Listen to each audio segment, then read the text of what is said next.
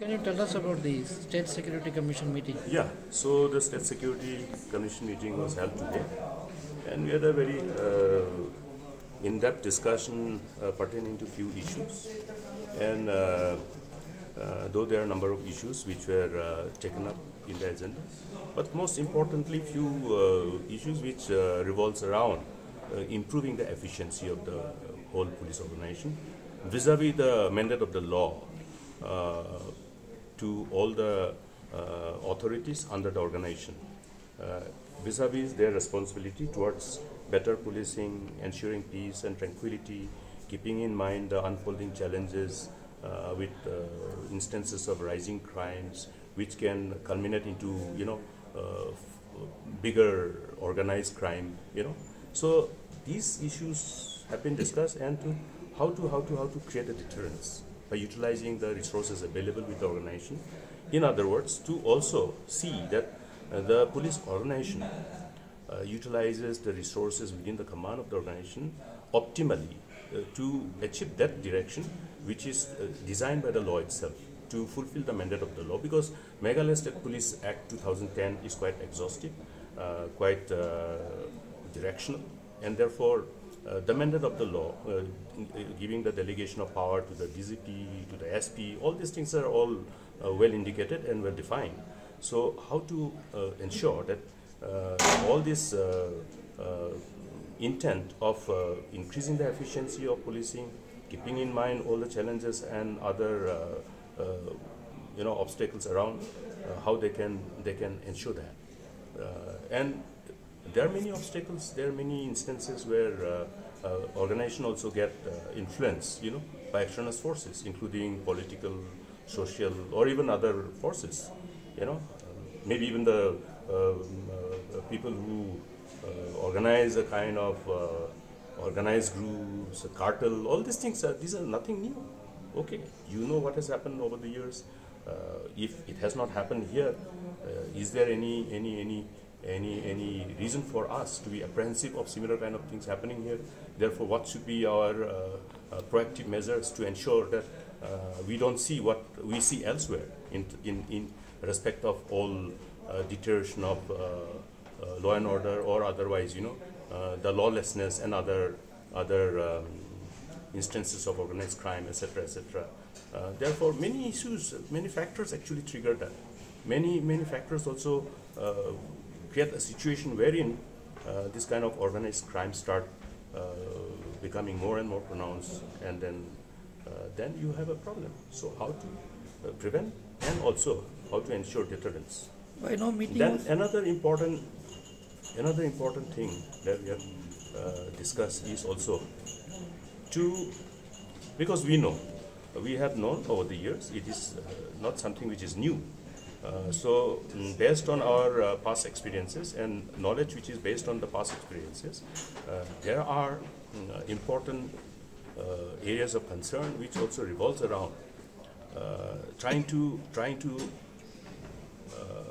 take leverage upon closeness or proximity with authorities in police department at the level of police stations, at the level of police outposts, and and somehow create a situation where they'll end up abusing their power. For the case in hand, we are specific towards uh, such reports coming from the plain areas of West Garo Hills, Southwest Garo Hills, all these areas, you know.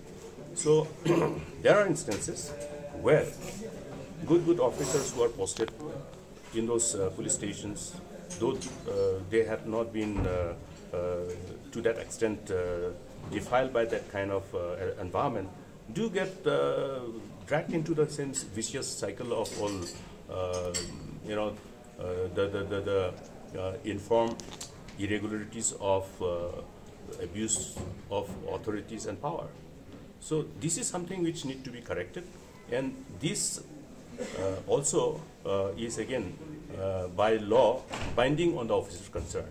So the law provides both the mandate and responsibility for the DGP and for the SPs, and therefore how in sync with the mandate and intent of the law, all these things can be enforced in such a way so that uh, police is found uh, as a friend of the society and uh, is not is not influenced by partiality or uh, some kind of uh, organization which can be uh, subjected to manipulation by people who are in the vicious cycle of doing it.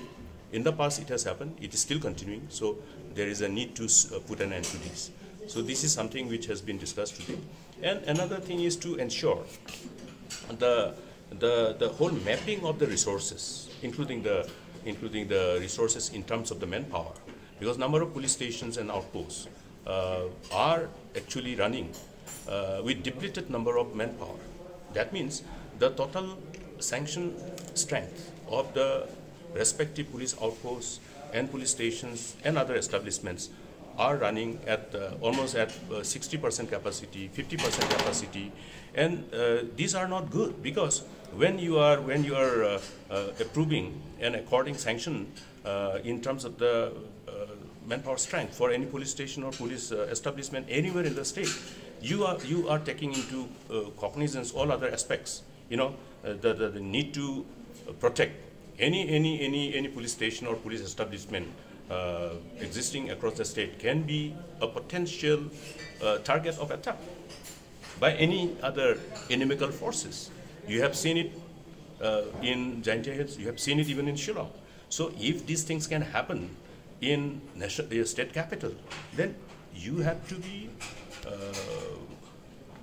obviously aware of the possibilities of similar kind of adventurism by any, any uh, groups of uh, criminals. And therefore, uh, ensure, ensure that the police establishment across the states are not seen as vulnerable.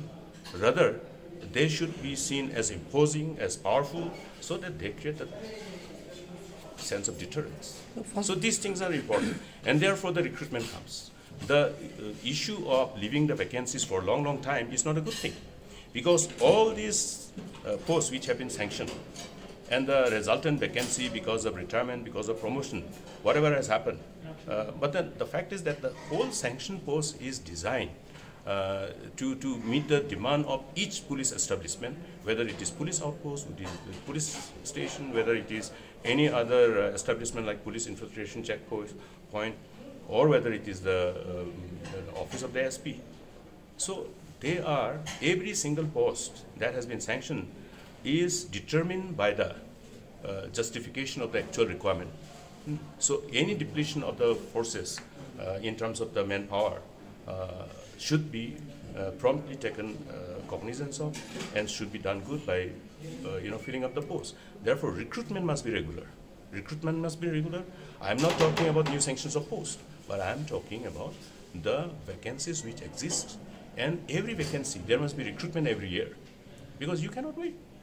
The overall cumulative number of vacancies, if you allow it to uh, get accumulated over a period of time, then you will have a problem. Not only a problem, you also deprive who are willing to serve the state, who are willing to serve the people by being uh, a member of the police organization. Allow them this privilege. Why you uh, ask him to wait for three, four, five years?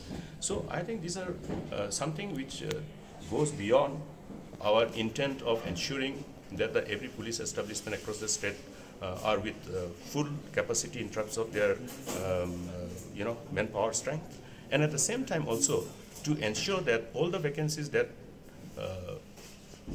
takes place over the years are promptly filled up so that youth get privilege of being able to join with uh, the government in serving the people. Coming so the repository of state power, you know, how you share this power by allowing people to be part of the uh, whole government institutions uh, by uh, being an employee in the government organization. So allow these privileges to the youth. So coming to one serious point, that means criminal police nexus exists in Meghalaya.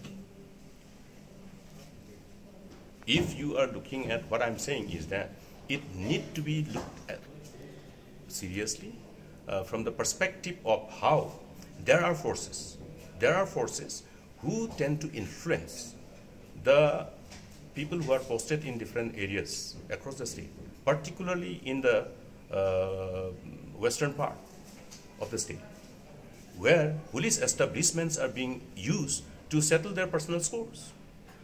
police establishments are also the authorities who are posted in these police establishments are being abused to you know to create some kind of uh, uh, system where uh, people uh, uh, suppress and oppress uh, people who don't belong to their particular you know in different way even sometimes politically also even sometimes politically also but this trend is wrong because in our given democracy political parties will come and go. Sometimes some political parties will be in power. Subsequently some other political power may be in the power.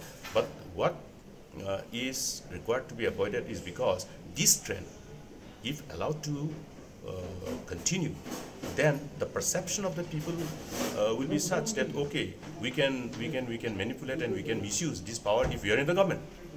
Let us put an end to that thoughts and ideas Another issue, why this, why the meeting was not held for last five years? come again Why the meeting, similar meetings were not held for the last five years? No, no, I have taken cognizance of, I mean, I have, I have uh, uh, flagged this issue and then the uh, commission has taken cognizance of this requirement because the law, the law is very clear. Uh, it is the, uh, rather, it is binding on the part of the government to have this state security commission meeting every three months. Okay, so today we have discussed this and then it has been agreed that this meeting will, from now on, be held every three months. So I just want to reconfirm again, that means you are uh, uh, uh, uh, confirming that political interference is there in our police force. Yes, it is there. That's the reason why I'm, I have flagged this issue.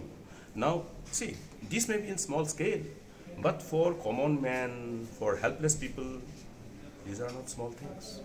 These are big things. You know, therefore, therefore, uh, police organizations should not be weaponized by anybody to allow them to, you know, create that kind of sense of fear uh, to people who are in authority by virtue of being affiliated to any political party which is in power. This is not something which is good for the future because then it will only be a vicious cycle. Uh, you do it today, I will do it tomorrow. You know, that's uh, perception will come. And when you want to stop it, they will say, oh, my leader is good for nothing. He's not allowing me to do the same. You know, so therefore, uh, let us uh, ensure that uh, the whole policing uh, aspect is not to any extent diluted by other uh, areas of uh, interest, which is uh, which revolves around individual interest of settling personal score or creating some kind of uh, perception to show that he wields power because of being where he is. You know, so these are things uh, uh, where which can be put an end to because the law itself is also indicative of this. In fact, if you go through the Meghalaya Police Act 2010, you will see that these points are also precisely indicated in the points of concern and how we must ensure that the whole organization is insulated from the tendency of uh, anybody misusing or anybody getting influence, uh, political or otherwise. It is not only political always. It can be, you know, other inducement by other group of people. It may be businessmen or it may be uh, somebody who is in a cartel, you know, cartel of smuggling, cartel of. Uh, today, you have a serious problem confronting us. The problem of easy availability of substance of abuse. Where are they coming from? You have to uh, somehow be investigated to find out is there any who is facilitating this from people who otherwise should be the uh, uh, uh, people concerned mandated by law to create a deterrence. Rather than creating a deterrence easy becoming a facilitator. All these things you know because if you go by uh, how this type of cartel have operated elsewhere in the world and how they have successfully been able to influence you know the authorities therefore it gives you reason to uh, you know be vigilant okay this is what has been uh, this is what has happened elsewhere. Is it that these similar modus operandi is being operate, uh, operated by uh, our people also? So it gives you a reason to be vigilant. Keeping in mind the quantum of illegalities happening in the state. Is it not a fact? This substance abuse is a problem a matter of serious concern for the people. You have seen recently uh, uh, Minister in charge Urban Affairs, uh, Minister in charge Tourism, having a special program on uh, making West Shillong constituency drug free. He had a program, special program organized. Why? Because of the magnitude of the problem. Therefore, you have every reason to be vigilant and more and more vigilant and utilize all the resources available under your command to take these problems head on. And therefore, when you're talking about taking these issues, these uh, uh, all illegalities head on, that means you will definitely be confronted by certain situation.